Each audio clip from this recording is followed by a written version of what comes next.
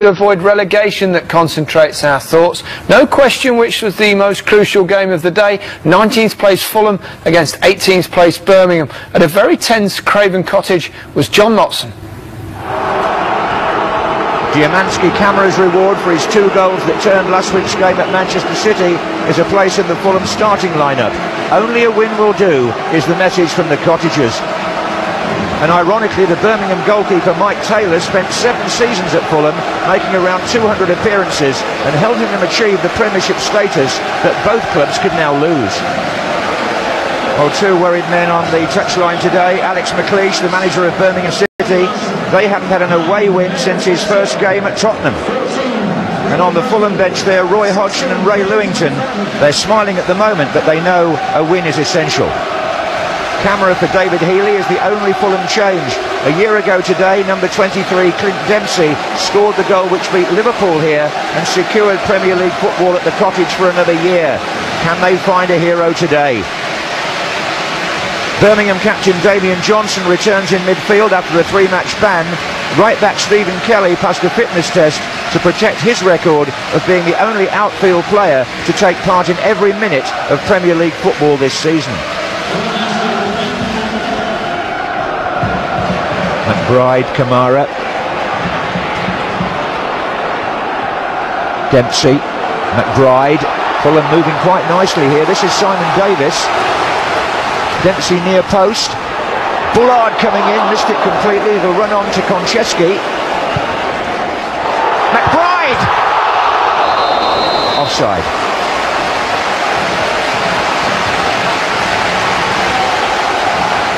But was he offside? Well, I think Maik Taylor may have just fingertipped that onto the bar. Well, the gentleman with the white hair there is Peter Chaplin, who's just approaching his 88th birthday.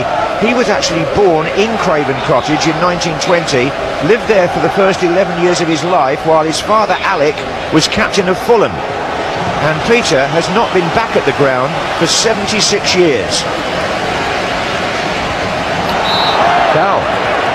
Davies checked there on the edge of the box before the play went on. And uh, Fulham have a free kick here in a threatening position.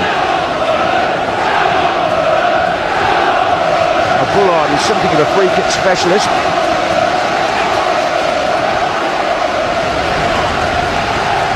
McBride is trying to untangle himself from Ridgewell. Bullard plays it shorter. Davies! Oh, what a fine save by Maik Taylor. The free kick was well disguised, but that was a supreme piece of goalkeeping. And it thwarts Fulham. And Simon Davies must have thought that was on its way in. Oh, that's dangerous. It's uh, snapped up by Larsson for Birmingham to McFadden. And now Kelly, the right back's made a great run on the far side. James McFadden didn't need him because he's found Larsson. Kelly is still there, mind you. Larsson's cross. McFadden. Oh! Mikael Forssell, a piece of miscontrol that surely well, it might uh, it might plague him a bit this because it was a real chance for Birmingham City. They were moving well with four men up, and Forssell here, the Fulham defender, had slipped, but Forssell couldn't get the ball under control. Well, the Fulham owner Mohamed Al Fayed went into the dressing room to speak to the players before the game today. Bullard Oh, intercepted by Kapo for Birmingham. He's got the two front runners here. McFadden's got in behind Aaron Hughes and Forssell is absent. Oh, and Hughes. Well, real good intelligent defending by Aaron Hughes because at one moment he was chasing McFadden, but the next minute he'd seen the danger and he prevented Forssell from getting on the end of it. Watch Hughes here, how he crisscrosses. Just does enough there. Well, the Fulham fans are doing their very best to bring a feel-good factor to this occasion.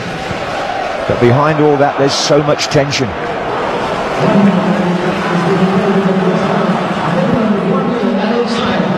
It's away by Muamba, and then by Kapo, and back in by Danny Murphy. Davies. Near post ball. Oh, and a chance here for Kamara. Good block, Jaidi. Fell in front of him. Stalteri now. We're in the time being added on for stoppages. Simon Davies.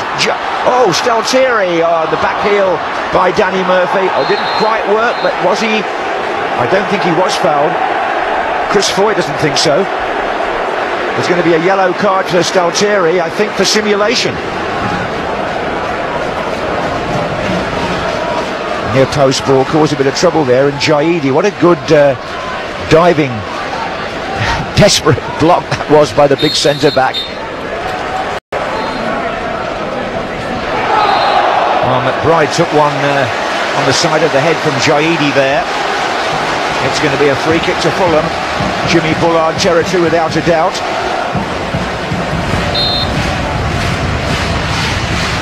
McBride coming in, and Fulham scored! Fulham scored, and who else could it be but Brian McBride?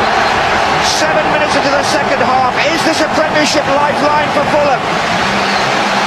McBride, who they've missed so badly when he was out from August until January, but this is a, an absolutely typical goal from him.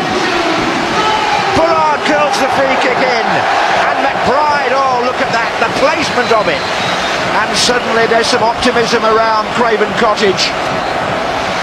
Well, there's a real roar going up at the Hammersmith end to the left as Fulham supporters celebrate the goal and the possibility, and that's all it is at this stage for Roy Hodgson, of survival. And this is Kamara.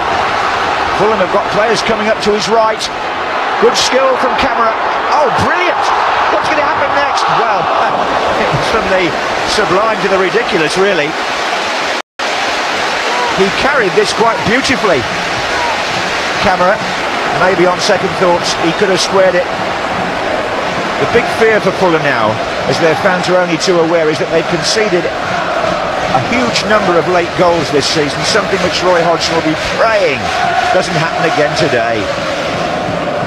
McFadden holding on well. Cassell to his left. Still McFadden. Room is opened up here. Ooh, don't give him that sort of space. McFadden, or he'll make you pay. And Fulham are going to make a change because Kamara is injured. And Erik Nevland, the Norwegian, who scored at Reading recently for Fulham, is coming on to replace him.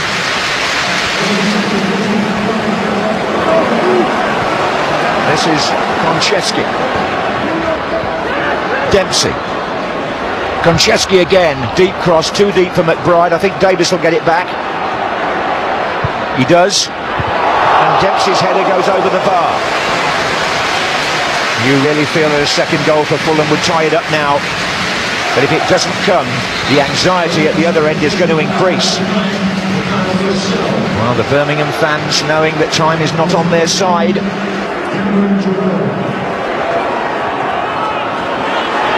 now it's Kelly. Johnson. It's come off Konchesky in front of the Birmingham supporters, a corner. Larsson will take it. Jaidi comes forward again. Can Fulham hold firm? David Murphy has arrived in the penalty area now. Jaidi! Oh, how did that stay out? Birmingham racing to the referee, who's given a goal kick. Kasey Keller isn't sure what happened here because he wondered whether it was a goal kick or a free kick. Are Birmingham appealing for a corner?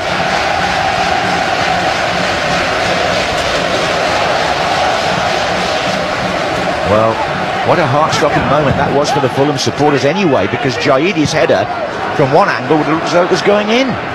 Oh, it's Nevland! He's away! Can he settle it for Fulham? Erik Nevland has scored! It's 2-0! And Fulham smell of survival in the Premier League! And Birmingham look down and out!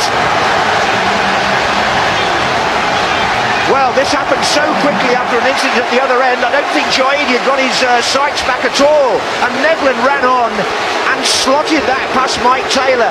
Nevland, who as Roy Hodgson was saying to me before the game, is sometimes better coming on as a substitute than he is starting. Well, I tell you what, he's proved it here. And Fulham have got a 2-0 lead. Well, I have to say, on their second half performance, Birmingham don't really deserve better than this. It's been back again. David Healy here can just play it to his left. It's Simon Davies back again to Healy.